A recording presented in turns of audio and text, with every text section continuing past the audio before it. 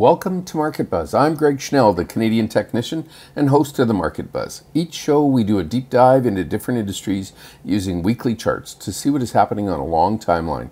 Please follow me on Twitter at Schnell Investor, and you can also find my blogs on ospreystrategic.org as well as stockcharts.com.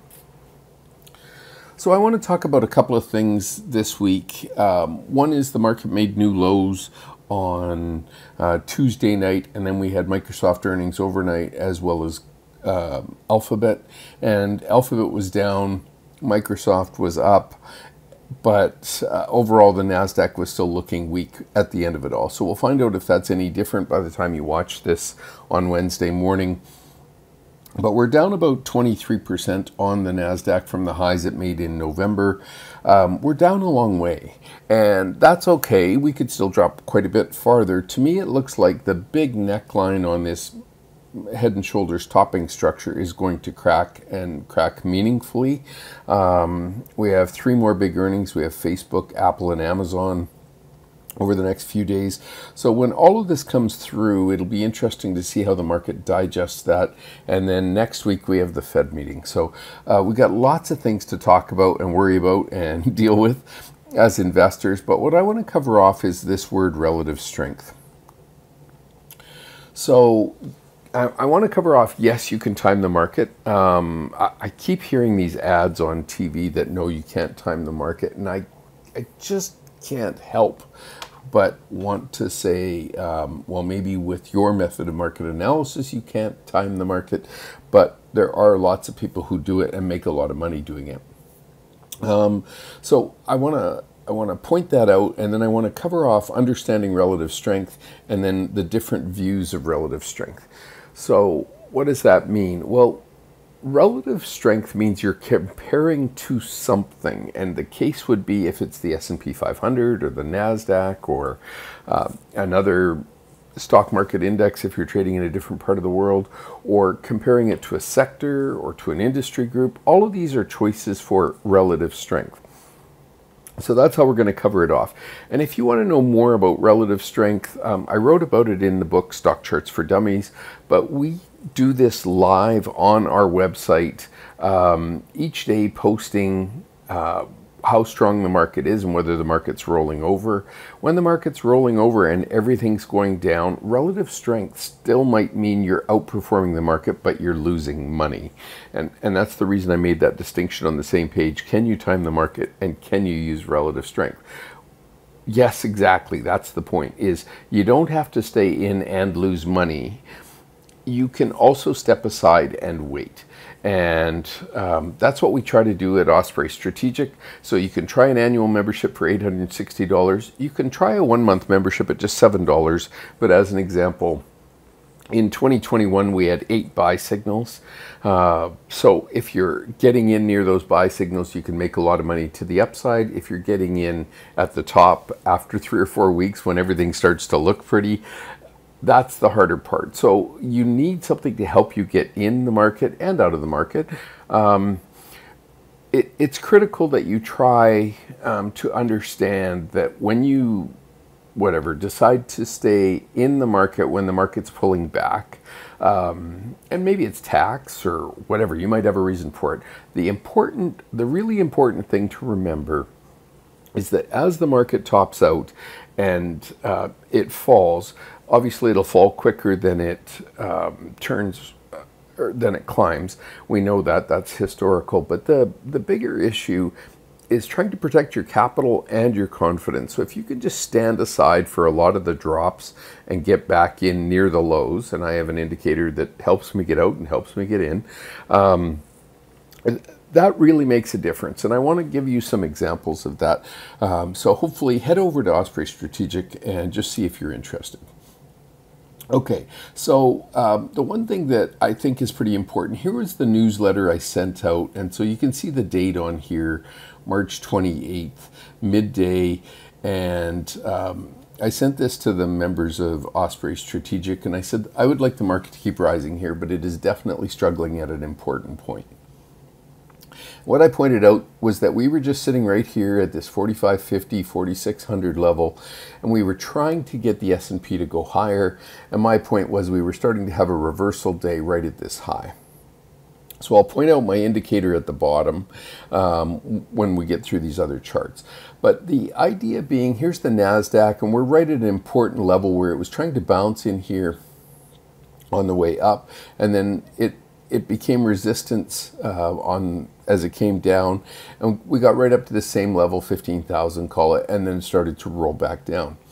Now here's the Dow 30. It had a really important support and resistance level going through the middle of this chart. So here it was resistance, here it was support, resistance. Came down here, fell through it, then it was a little bit of resistance, then it made it above, then it became support, then it came down, was resistance again, became support, became resistance, and came back up. So we're right here. And again, the 200 day moving average and that horizontal line sitting right on top of each other. All of this was at the same time on March the 28th the NASDAQ composite, that first chart was the NASDAQ 100. But you can see uh, this one was so easy. The line in the sand was just about um, obvious. You could have it, held up a piece of paper right at that very line and, and uh, saw what was support and resistance. And then the Toronto Stock Exchange had tried to break out and was trying to hold that breakout. And so what had happened here was my Schnell Strength Indexes had started to peak uh, right at this point, and my big thing was that um, it's at a peak where it is topped out since the market top has been under construction from September 22nd to now. I need better price action today. My goal here is to protect profits.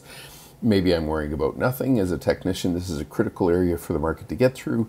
I raised a lot of cash today, including selling some long held Canadian oil stocks.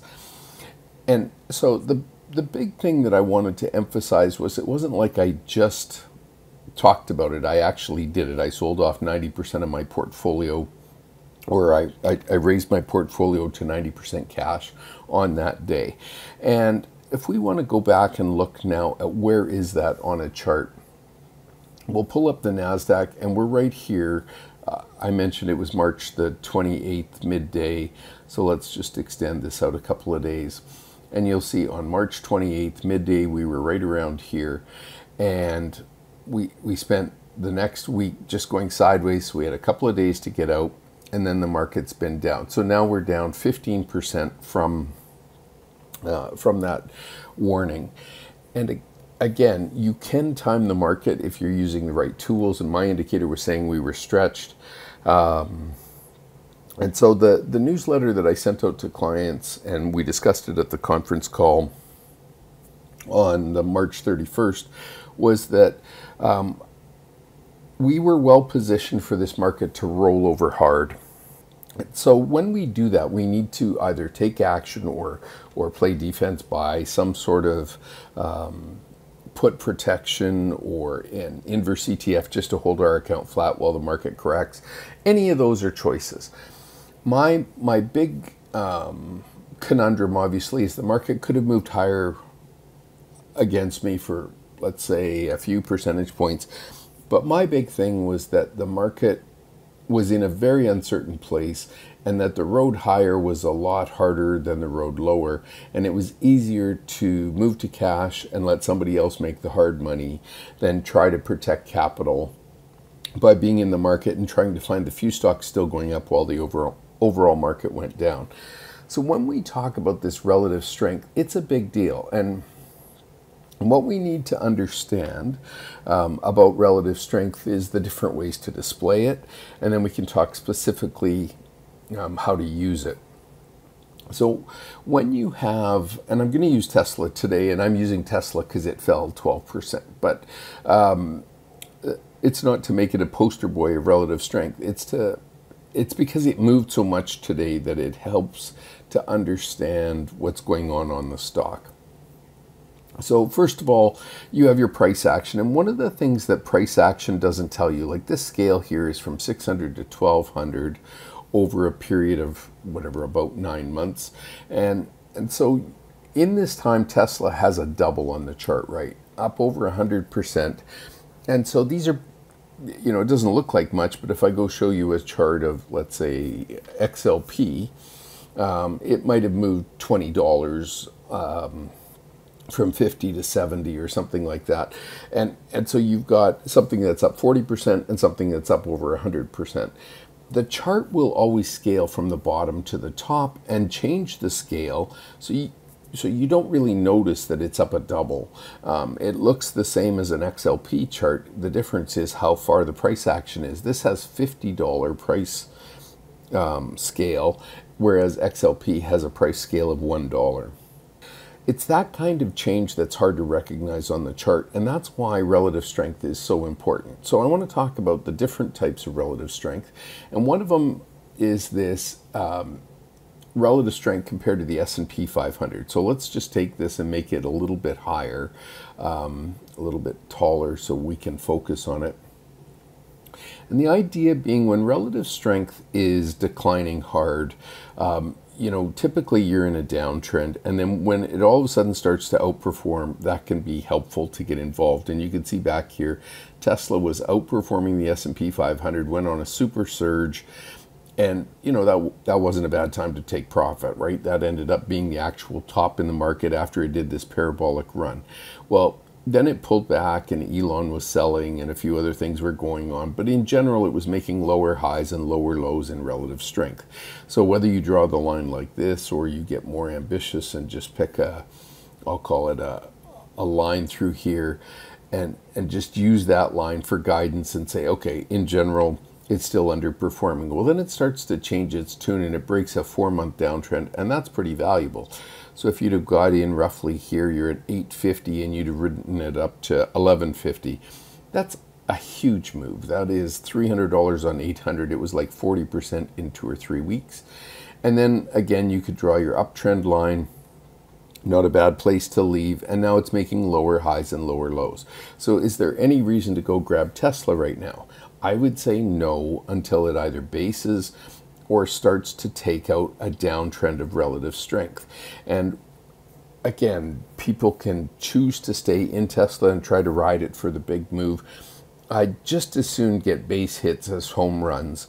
And the reason is because you never know if your goal is to hang on for the final high, there's no exit sign there. The only thing you have is uh, a market top and it rolls down from there and you don't you know did you realize in november that that was tesla's top for the time being? I didn't realize it but i knew it was time to take profits. That's all we knew. Um, the so so this is one example of ways to trade it. And again when you get parabolic surges on relative strength it's usually a good time to take profits especially if you made 25 or 50 percent in a month. Um, those opportunities don't come around very often, and I know many people think, you know, it'll go 300% in two months. Um, but we were also in a position where the market um, was very exuberant. So uh, my indicators were starting to roll over, and it was telling us to at least be cautious. So that's one type of relative strength. Now, the second type of relative strength, let's just uh, shrink this down. The second type of relative strength is the SCTR ranking. And the difference between the SCTR ranking and the uh, relative strength compared to the S&P 500 is this just tells you if it's outperforming the S&P 500 and much like it does it to the price scale it changes the scale over here now um, I visited Grayson at StockCharts um, in just a, a, week or two ago and, and the big thing that um, we talked about there was that you could also change this from price to price performance. Now that's going to help a little bit. Um, and when I say help a little bit, what's it what's it going to do? Well, it'll actually tell you how much it's outperforming by. So that makes it a little bit a little bit better. And again, the the idea behind that is it's going to change this scale to a percentage. And so you can actually see how much Tesla is outperforming by over the period on the chart. So it's always from this left edge to wherever. Um, so if we picked it right here, it would have no outperformance. I hope that makes sense, but it's where the chart starts that matters when you use that percentage change or, or performance um, level. So again, it's from the left edge of the chart.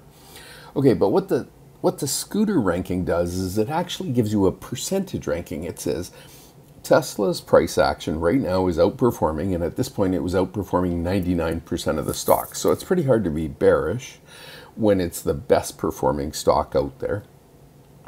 And the other thing was it was staying above this 75% level. And for me, I like the 75% level. And the reason I like it is because it's saying the top is one of the top 25% of the stocks out there against its large cap peers. So that's a pretty important criteria.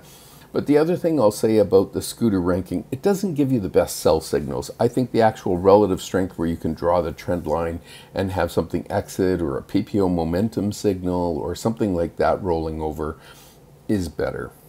So then Tesla starts to become an average stock and floats between 30 and 70. And if I showed you the Royal Bank, you'll find out that it basically floats between 30 and 70 compared to its large cap peers. Um, the ticker symbol's RY if you wanted to go look at it. But what you'll find is it's got a SCTR ranking that just floats in there. And really, the stock never becomes one of the top performers. So, my question would be do I want to own something that never becomes a top performer? And the answer is no. I'd rather own something like Tesla that when it's running, it's running, and when it's not running, I'm out of it. Um, but if you're if you're trying to get the big 10-year gain, that's a really hard goal because it's very hard to know when to leave. And Facebook, Netflix, those are great examples of would you have left near the highs. And of course, everybody would have in hindsight, but the reality is, did you sell your shares? And if you didn't sell your shares, what were you waiting for? Well, you thought it was going to keep going. We all know that. So try to figure out an, a reason to exit your stock, what, what it would take to kick you out. And if you're going for the 10 year home run, um, it's hard work, but I would just say um, you're going to have to find some discipline, be it a weekly chart or a monthly chart, to help get you out near the top so that you don't give back all of the gains. Okay, so with the SCTR ranking again, now Tesla's got a SCTR ranking of 35% or 36%. Let's just say it hovers down here for three or four months like it did back in here. Everything was going up and Tesla was still climbing, but it wasn't climbing very fast. And then all of a sudden, it went from being one of the worst. So I like it when it gets better than 30%. And it took off and it went up and it went on a long run for about five or six months and then the SCTR ranking starts to break. So here I'm waiting for this to get oversold, or not oversold, but down into the bottom. And then when it starts to improve again, I probably want to get back on board. So that's the second method. Now again, you can you can compare it to whatever you want. You could compare it to the Nasdaq. In this case, that that SCTR ranking compares the price action to all the other stocks in its category. In this case, large caps. So now let's go down and look at these other types. Um, we're going to look at both the industry and the sector. And the idea being, you can see that Tesla was also outperforming its sector and outperforming its industry group um, as it went through that big spike in October. And then here in February, March, it started to outperform again. Um, there was a downtrend against its sector, and there was a, a, horizontal trend against its industry group, and it started to make a nice big run. So it didn't matter if you were comparing it to its sector, its industry group, uh, price action on itself as it broke the downward trend line, the relative strength price action, the SCTR ranking went to 75. All of these relative strength indi indicators were telling us something was changing on the charts. The most important thing to remember is when it changed on the charts, um, it's a great place to get in, but now you need to decide what you're going to use to exit, and, and maybe it starts to underperform all of its peers in the consumer discretionary, or it starts to underperform the autos. And it hasn't really started to underperform the, the autos that much. It's really just sideways over the last month. So that still looks good to me, but what I saw was that the relative strength on the S&P 500 was starting to break a parabolic uptrend where it moved meaningfully from outperforming by 20% to 40, you know, to 60%. That's huge. And that massive gain is something that you could take as profit rather than waiting, I'll call it, for some of these other signals to kick in. So these are all different ways to view relative strength, and I think again, the most critical thing to try and um, think about is when relative strength is in your favor, um, you're outperforming the market. But now I want to change the chart to XLU. And um, XLU is not going to have sector industry data. But what you see here is this chart is basically hovering underperforming the S&P 500 all the way until late February and then it starts to outperform. So over the last 15 weeks or yeah, about that, but over the last uh, eight weeks, I guess, um, it's outperformed by 15%. Now, here's the problem with that outperformance of 15% is if we put the S&P 500 up, okay, on this same chart, it and and what you're going to see is um, it's it the S&P was running up and then it fell down. And so the big issue is the S&P is flat or down in that period. And the real question for you is you've made some money but now when that reversal comes the other way is it fast enough for you to catch it and actually take home the profit so you XLU has outperformed but you also have the risk that you're in something that's starting to get more volatile. So if we talk about Target as an example, um, or should think of a different utility. This one's more of a consumer staple. Um, but this was 250 down to 235 in the last week. And you're sitting there holding the stock. It's still a, a 10% pullback um, in something that was outperforming just the prior three weeks again, what I'm trying to say is as the stock market rolls over, it's hard for you to make those decisions in a timely fashion to hold on to those gains. So one of the things that um, that I like to think about is that if you think of the, I'm going to use this one here. If you think of the the chart lists um, or the the strength of the market rolling over as a whole, this is my Schnell Strength Index today, and it's now in the bottom territory, which is an area where I at least want to be aware that the market is so beaten down it could turn higher. Now, you can see back in January it tried to turn higher and we ended up staying in a downtrend. So there was some, like this was that 40% move in Tesla. Um, there's still some opportunities when it does turn up if you're in the right stocks. But my big thing to think about is when everything's rolling down. So right here is this letter I sent to my clients saying that my index is topping out. We're at a place of resistance on the charts and we should really be careful. Well, if you could avoid this whole slide rather than trying to be in whatever utilities or something else and just wait it out. And now when it gets down into this bottom area, now you have an opportunity to wait for it to turn back higher. To me, that's really valuable information. And again, I don't think my clients have lived through any of the NASDAQ pullback or the S&P downturns um, since the beginning of the year. We've been getting them out of the market and we've been helping them trade the market.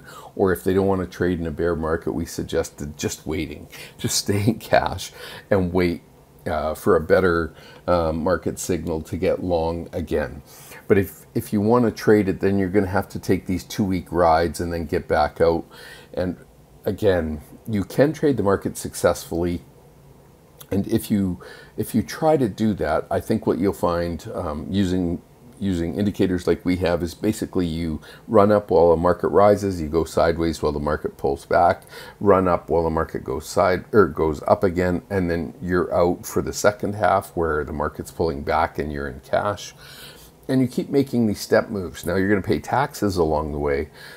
But the other thing you're never going to do is live through a big 30, 40, 50% downturn. And so to me, you're protecting capital as you go and you're using um, the strength of the market. So in this case, cash as a relative strength tool. You're in cash while the market's pulling back, and then you put you've got all your cash sitting there ready to put to work. When you get near a market low, we start to get signals on my indicators, and then you can start to buy back in.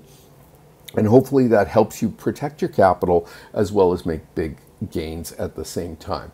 So I can tell you I started using the strength indexes two years ago. It's been life changing in terms of performance for me because I'm not living through downtrends and I'm um, staying in the market for uptrends or I'm riding things that continue to work even though the market's rolled over. So, as an example, energy did okay. So, you'd stay in energy until it starts to break down. Okay, all that to say, I want to make it very clear that yes, you can successfully time the market. You can do it with large amounts of capital. And understanding the difference between all of these relative strength tools can help you make profit. Thank you for taking the time to join me on Market Buzz. Market Buzz airs Wednesdays at 10:30 a.m. Eastern Time. You can also see the recording on StockCharts TV YouTube page. Thanks everybody. Bye-bye.